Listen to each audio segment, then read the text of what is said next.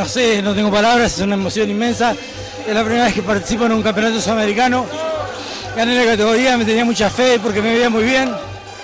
Puse mucho empeño, puse mucha voluntad como creo que todo el resto de los atletas.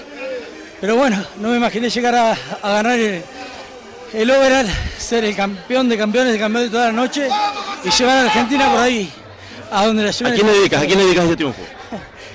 A todas las personas que me apoyan, eh, a mi familia, y bueno, no tengo un montón de gente para decirle que este momento no se me viene, pero a mi país, Argentina, a mi país por sobre todas las cosas y al culturismo que es lo que amo.